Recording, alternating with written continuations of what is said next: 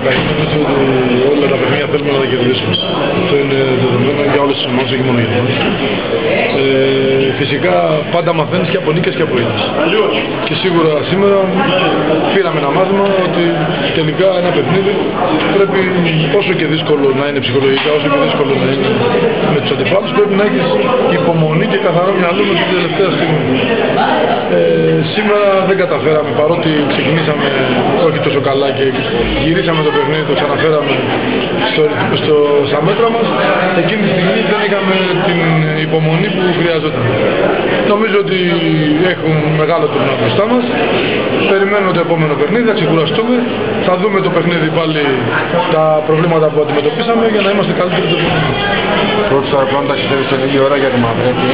Τι είναι αυτό που συγκεκριμένα πρέπει να βελτιώσει άμεσα η εθνική ομάδα, έτσι ώστε να μην επαναλάβει τέτοιου λάθη.